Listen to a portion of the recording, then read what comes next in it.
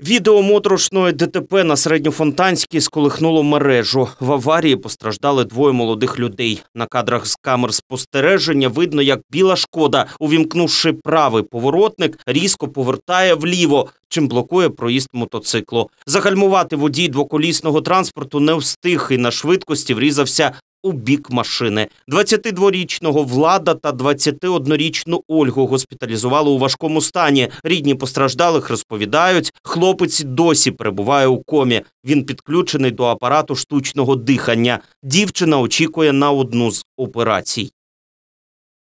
Ребятам кровь капают каждый день, или это плазма, или какие-то другие компоненты.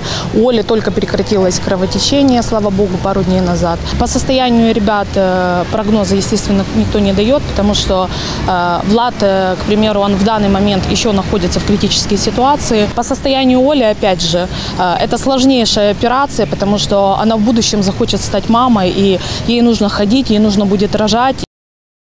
Щодня на лікування Влада та Ольги їхні близькі витрачають тисячі гривень. Попереду додаткові обстеження та операції.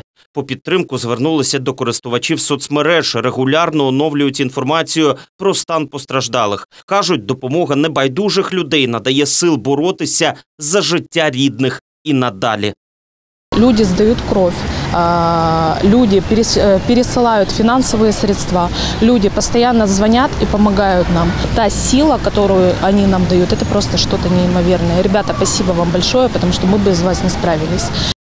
Точної суми, яка необхідна владу та Ользі, щоб упоратися з наслідками аварії, поки немає. Усі охочі матеріально допомогти можуть перерахувати гроші на картки, реквізити яких ви бачите на екрані.